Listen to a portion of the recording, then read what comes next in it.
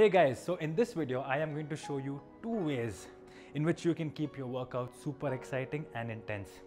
First one is the drop set, where you start with a higher intensity and immediately moving on to the next set with a lower intensity.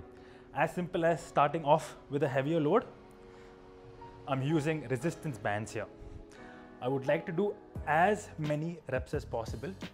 Ideally, I give myself a target, say 25 repetitions. As soon as I'm done and I feel completely fatigued, what I can do is I can drop the weight as per what you would hear saying drop set, right? Move on to the same variation immediately, but with lesser weight or with no weight. And again, do about 20 repetitions or to failure. This is one way to go about it, and it's called a drop set. The second bit is a superset, where I can mix and match two variations. One would be, for example, a Bulgarian split squat.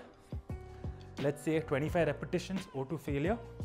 Feel a nice burn. Immediately move on to another variation. It could be a push up, it could be anything else. Here, I would show you a squat. So, this is a superset. So, incorporate these two movements. The volume does not necessarily have to be high. Considering we're training at home, we don't have much to work with. I would say do as many reps as you can, or you can do a higher volume. Alright, guys, I hope this was of great value. I'll see you in the next video.